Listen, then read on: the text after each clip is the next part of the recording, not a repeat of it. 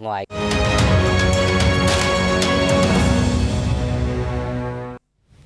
Thưa quý vị, nhắc tới văn hóa thưởng trà, có lẽ quý vị khán giả sẽ không thể bỏ qua hương vị trà ướp bông sen, một trong những văn hóa thưởng trà độc đáo của người Việt. Khi xu hướng du lịch trải nghiệm đầm sen trở thành trào lưu thu hút đông đảo khách du lịch thì sản phẩm trà ướp bông sen, trà lá sen cũng được nhân rộng và phát triển ở nhiều địa phương trên cả nước. Hiện nay tại xã Xuân Giang, huyện Sóc Sơn, thành phố Hà Nội, người dân nơi đây đã mạnh dạn chuyển đổi hơn một hecta đất trồng lúa kém hiệu quả sang trồng sen và xây dựng vùng nguyên liệu làm trà, ướp bông sen, kết hợp với du lịch sinh thái. Ngay sau đây là ghi nhận của nhóm phóng viên VTC 16. Một hecta đất trồng lúa kém hiệu quả vì đất hoang hóa sinh lầy đã bị bỏ không suốt 20 năm. Anh Nguyễn Văn Bắc, xã Xuân Giang, huyện Sóc Sơn, Hà Nội đã khai hoang vùng đất này thành những đầm sen thơm. Giống sen Hồ Tây là giống sen duy nhất có thể ướp được trà sen có mùi thơm thanh khiết, ngọt ở phần hậu vị. Vì thế anh Bắc đã bỏ ra 9 triệu đồng để mua giống sen quý này về trồng trên đất Sóc Sơn. Tức là cái bông sen nó khác hẳn của Tây Hồ này là của nó khác hẳn những bông sen ở nơi khác là thế này. Nó rất dày cánh và gạo của nó là cũng rất nhiều. Hương hương vị rất thơm nên là cái này nó đặc thù. Kể cả đi đâu kèm kể cả ai uống cũng biết ngay là hương vị của của chè sen này. Mà hai ở đây là đặc thù là không có một tí nào thực vật tức là thuốc bảo vệ thực vật. Sản phẩm trà sen được anh Bắc và các thành viên trong hợp tác xã ướp vào sáng sớm và bán cho thị trường Hà Nội hoặc cho du khách tới tham quan. Điều đặc biệt mà hợp tác xã này hướng tới là dù làm du lịch hay sản xuất sản phẩm trà cũng phải được thực hiện theo phương pháp canh tác hữu cơ, xây dựng thương hiệu dược liệu an toàn cho người tiêu dùng. Nên cũng hai nơi là dùng cái này như một nơi nó bảo thế tại sao các anh không phun thuốc sen? Đấy. Bảo không chúng tôi không được phun thuốc bởi nguyên tắc là chúng tôi chỉ dùng phân hữu cơ và thuốc uh, sinh học đã của đã có bằng sáng chế của nhà nước đấy mới được làm. Mới đây, Thủ tướng Chính phủ Phạm Minh Chính đã ký ban hành nghị quyết số 82 NQCP về nhiệm vụ giải pháp chủ yếu đẩy nhanh phục hồi, tăng tốc phát triển du lịch hiệu quả, bền vững, trong đó có nhấn mạnh việc phát triển du lịch bền vững trên đất nông nghiệp. Đây cũng là tiền đề để các hợp tác xã nông nghiệp có thế mạnh về du lịch củng cố, xây dựng lại chiến lược phát triển chuyên nghiệp và bài bản hơn. À, du lịch nông nghiệp bây giờ hiện tại đó là ờ, cái xu hướng phát triển tất yếu của thị trường ạ. À, nó là một cái ờ, nó là công nghiệp sạch và mang lại cho vừa mang lại nguồn kinh tế cho uh, giải quyết uh, cho người lao động. Thứ nhất là cũng uh, tạo ra những cái nơi thư giãn vào những cái dịp cuối tuần cho rất nhiều mà du khách ạ. Xã Xuân Giang của tôi là riêng cũng như là uh, huyện Sóc Sơn là chúng tôi được quy hoạch là uh, thành phố vệ tinh. Nên do vậy là đặc biệt Xuân Giang của tôi là một xã nông nghiệp do vậy là phát triển cái thế mạnh đối với lại nông nghiệp đặc biệt là du lịch nông nghiệp là một trong những cái chúng tôi đang hướng tới và đang xây dựng Mỗi vụ sen thì thu được từ 5.000 đến 7.000 bông để làm trà bông ướp sen. Giá mỗi sản phẩm trà ướp bông sen là 20.000 đồng. Cả vụ, hợp tác xã thu được từ 120 triệu đến 140 triệu đồng một vụ. Thành phố Hà Nội cũng là một trong những địa phương đi đầu thực hiện đề án phát triển du lịch nông nghiệp thúc đẩy phát triển các sản phẩm du lịch liên quan đến nông nghiệp, dịch vụ du lịch gắn với cảnh quan nông thôn, văn hóa cộng đồng. Thưa quý vị, nền tảng cơ bản để xây dựng thành công một hợp tác xã hiệu quả là đem lại nguồn sinh kế bền vững cho những thành viên trong hợp tác xã. Hợp tác xã Dược liệu Hòa Phát đã thuyết phục bà con chuyển đổi đất lúa kém hiệu quả sang thành vùng trồng dược liệu. Từ năm 2015 cho đến nay, Bà con xã Xuân Giang đã sở hữu 12 ha trồng dược liệu cung cấp nguyên liệu cho các cơ sở sản xuất dược liệu trong thành phố, giải quyết công an việc làm cho các thành viên trong hợp tác xã. Tuy nhiên nếu chỉ sản xuất cung cấp nguyên liệu thô cho các đơn vị sản xuất lớn thì người dân nơi đây lại không có được giá trị kinh tế cao, cũng khó khăn trong việc xây dựng thương hiệu riêng cho địa phương mình. Trong khi đó, xã Xuân Giang, huyện Sóc Sơn, Hà Nội lại là một trong những địa phương ven thành phố, nơi tiềm năng để phát triển du lịch sinh thái ven đô. Xây dựng thương hiệu trà hữu cơ thành công cũng là điều kiện thuận lợi để xã Xuân Giang hoàn thành mục tiêu xây dựng nông thôn mới nâng cao, tiến tới nông thôn mới kiểu mẫu trong giai đoạn tiếp theo. Ốc, cá được ủ theo công thức trong suốt 6 tháng. Nước cốt sẽ được pha loãng để tưới cho sen và cây thìa canh, cỏ ngọt, cả gai leo. Hiện hợp tác xã này đang trồng khoảng 7 loại dược liệu.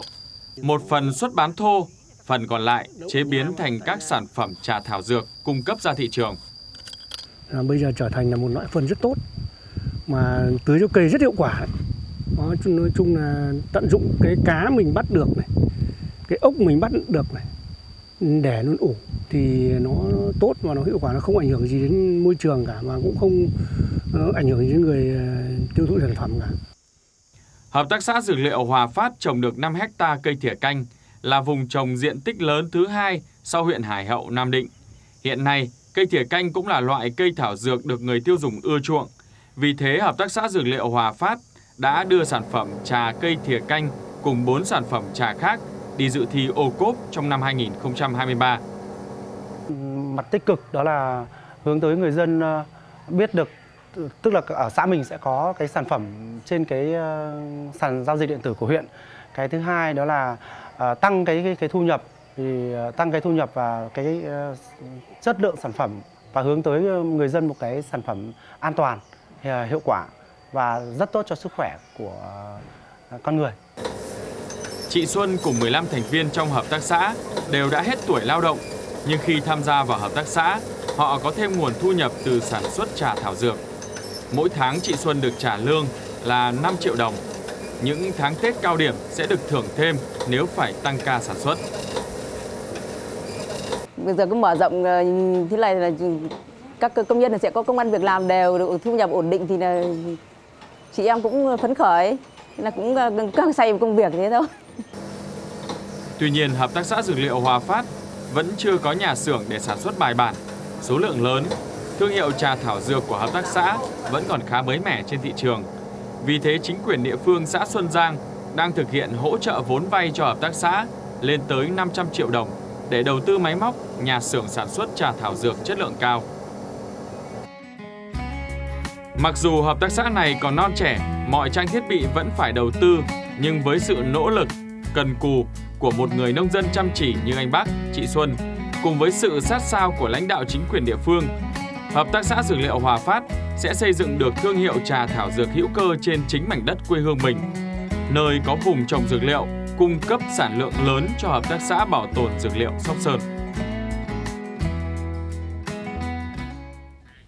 Thưa quý vị, sản phẩm mới lạ, tiềm năng và triển vọng đó là những tiêu chí đặt ra cho những người khởi nghiệp, khởi sự kinh doanh và chị Nguyễn Hồ Mỹ Linh ở khu phố 2, phường Đức Nghĩa, thành phố Phan Thiết của tỉnh Bình Thuận đã chọn mô hình nuôi trồng nấm mối đen để khởi nghiệp và bước đầu cây nấm đã mang lại thành công, mở ra triển vọng phát triển kinh tế hộ.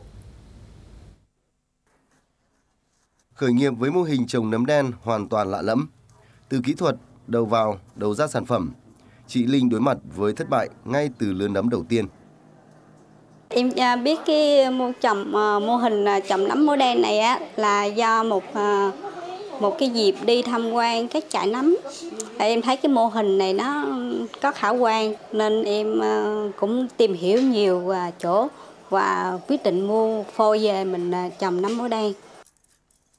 Vạn sự khởi đầu nan, chị Linh tự mình tìm tòi, phân tích nguyên nhân thất bại để có phương pháp khắc phục. Thành quả của sự kiên trì bước đầu mang lại thành công cho chị. Trên diện tích 40 m2, trung bình mỗi ngày chị thu từ 10 đến 15 kg. Với giá bán từ 250 đến 300 000 đồng một kg. Bình quân, mỗi ngày chị Linh thu nhập từ việc bán nấm từ 4 đến 5 triệu đồng. Thời gian thu hoạch mỗi lứa kéo dài từ 10 đến 12 tháng.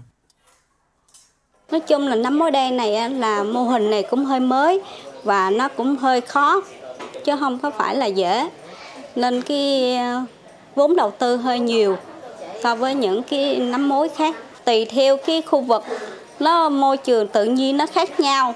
Nên mình có mình thay đổi cái cái, cái nhiệt độ trong phòng để mình khắc phục cái tình trạng bệnh và cho nấm nó ra nó nhiều hơn. Về cái mô hình của nấm máu đen của chị Linh á, thì em thấy phụ nữ mình nên học tập và để nghiên cứu để áp dụng. Thứ nhất á, là đầu tư là chỉ một lần thôi và khi chăm sóc sau thời gian hơn 30 ngày thì đã có thu hoạch. Thì một ngày thu hoạch là sáng một lần và chiều một lần. Thì dao động là từ 6 đến 10 kg trên một ngày. Và cái giá dao động của nó là từ 300 đến 400 ngàn đồng một ký.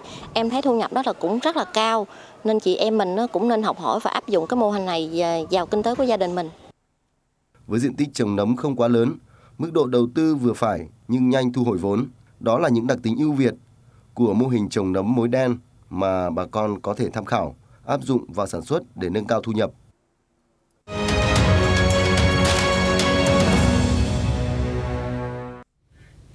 Thưa quý vị, ngày hôm qua ngày 20 tháng 7, cơ quan chức năng của tỉnh Lâm Đồng đã hoàn thành việc kiểm đếm khám nghiệm hiện trường các vụ đầu độc rừng thông xảy ra trên địa bàn xã Lộc Phú và Lộc Ngãi của huyện Bảo Lâm, khiến hơn 250 cây thông bị thiệt hại, đang héo úa và có nguy cơ chết khô. Ghi nhận hiện trường rừng thông bị đầu độc thuộc lâm phần do quản ban quản lý rừng phòng hộ Danbury quản lý và đây có 159 cây thông tự nhiên đã bị đầu độc bằng hóa chất, cơ quan chức năng chưa xác định được đối tượng vi phạm. Nó gọi câu nó chưa ra lệnh ấy nhưng mà nó nó giữ để nó cũng xảy ra ở trên lâm phần do công ty cổ phần Hà Phong quản lý bảo vệ. Tổng số cây bị đầu độc là 93 cây thông tự nhiên, có độ tuổi từ 30 đến 40 năm. Tổng diện tích rừng bị tác động là 5.600 m2, tổng trữ lượng lâm sản là hơn 105 mét khối. Ngay sau vụ việc, Sở Nông nghiệp và Phát triển nông thôn tỉnh Lâm Đồng đã yêu cầu tri cục Kiểm lâm tỉnh phối hợp với Ủy ban nhân dân huyện Bảo Lâm cùng các cơ quan chức năng khẩn trương điều tra vụ việc để xử lý nghiêm các đối tượng phá rừng, đồng thời phối hợp với đơn vị chuyên môn tìm cách chữa trị phục hồi hồi cho các cây thông bị đầu độc. Vâng thưa quý vị, sau nhiều vụ chặt phá đầu độc cây rừng tự nhiên xảy ra thời gian gần đây, Ủy ban nhân dân tỉnh Lâm Đồng vừa có văn bản chỉ đạo Ủy ban nhân dân các huyện thành phố về nội dung liên quan đến công tác tăng cường quản lý, bảo vệ và phát triển rừng. Văn bản của Ủy ban nhân dân tỉnh Lâm Đồng yêu cầu các huyện và hai thành phố Đà Lạt và Bảo Lộc chỉ đạo quyết liệt các phòng, đơn vị trực thuộc, chính quyền cấp xã và cơ quan chức năng có liên quan tập trung tăng cường kiểm tra, thực hiện hiệu quả công tác quản lý bảo vệ rừng, phòng cháy chữa cháy rừng và phát triển rừng. Ủy ban nhân dân tỉnh Lâm Đồng yêu cầu các địa phương khẩn trương giả soát hồ sơ vi phạm để xử lý theo quy định, phối hợp hỗ trợ các chủ dự án đầu tư liên quan đến rừng và phát triển rừng trên địa bàn trong công tác quản lý bảo vệ, phòng cháy chữa cháy rừng, kiểm tra việc thực hiện của các doanh nghiệp theo đúng nội dung phương án dự án được phê duyệt, kịp thời đình chỉ xử lý vi phạm theo thẩm quyền hoặc báo cáo đề xuất cơ quan chức năng xử lý theo đúng quy định, đồng thời khẩn trương điều tra, hoàn tất hồ sơ xử lý nghiêm các vụ vi phạm luật lâm nghiệp đã được lực lượng chức năng phát hiện và các cơ quan truyền thông phản ánh, tổ chức đưa ra xét xử lưu động để tạo tính gian đe, không để tạo thành điểm nóng vi phạm luật lâm nghiệp trên địa bàn. Thưa quý vị là theo vụ giáo dục tiểu học Bộ Giáo dục và Đào tạo năm học 2022-2023, giáo dục tiểu học diễn ra trong bối cảnh còn gặp nhiều khó khăn.